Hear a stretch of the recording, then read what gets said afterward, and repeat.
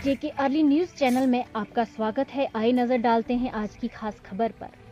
गुंदो बलेसर के मुख्तलिफ़ राबता सड़कों की हालत खस्ता हो चुकी है, जिसे ड्राइवरों को सफ़र के दौरान काफ़ी मुश्किलों का सामना करना पड़ रहा है।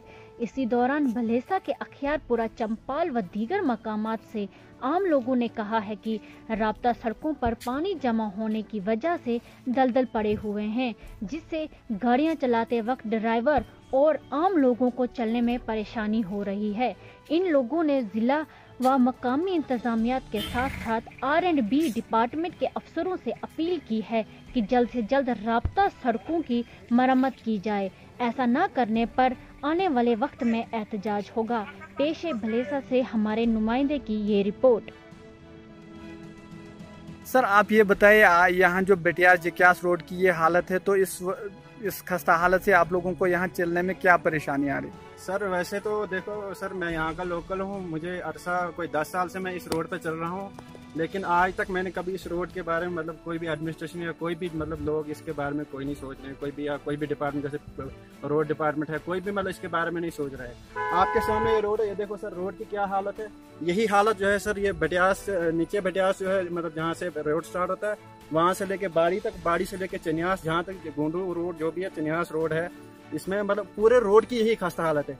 आप खुद ही देख सकते हैं कि इसमें क्या हुआ है, क्या नहीं, गाड़ियाँ मतलब गाड़ियों का चलना बहुत इम्पॉसिबल हो गया है। मतलब गाड़ियों को इतनी दिक्कत आ रही है कि उनको अगर दिन को दो चक्कर लगाने होते हैं, वो दो के बजाय एक ही चक्कर लगाते हैं, सर। तो बाकी, सर, हम एडमिनिस्ट्रेशन से यही अपील करते हैं कि, सर, कम से कम हमारी इस रोड के बारे में सोचें, इसका भी ख्याल करें। लोगों को बड़ी दिक्कतें आ रही हैं। कोई, कभी अगर किसी बीमार को कोई इमरजेंसी तौर पर लेना होगा सर तो सर, यहाँ हमें मतलब कम से कम मतलब दस मिनट लगने चाहिए वहाँ में दस मिनट की जगह दो घंटे लगते हैं, क्योंकि रोड की हालत देखे, सर मतलब गाड़ी को बिल्कुल दो या तीन किलोमीटर की स्पीड से चलना पड़ता है। तो सर, हम इसी मसले में सर एडमिनिस्ट्रेशन से अपील करते हैं कि सर, कम से कम हमारे इस मतलब इस रोड की तरफ़ तवज्जो फरमाएँ और कम से कम मतलब जो भी हमारे यहाँ की मतलब मुश्किल है, उनको हल निकालें। जो है, इसका ठेकेदार अगर एक होता तो ये रोड बनती।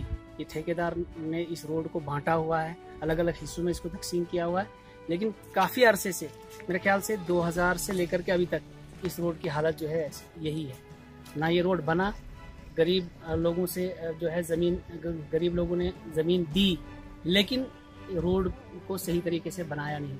तो अब क्या कहना चाहेंगे आप? हम चाहते हैं कि हमारी रोड जो है एडमिनिस्ट्रेशन तक ये बात पहुँचे ताकि एडमिनिस्ट्रेशन इस हरकत में आ जाए और इस रोड को जल्द अज जल्द बनाया जाए।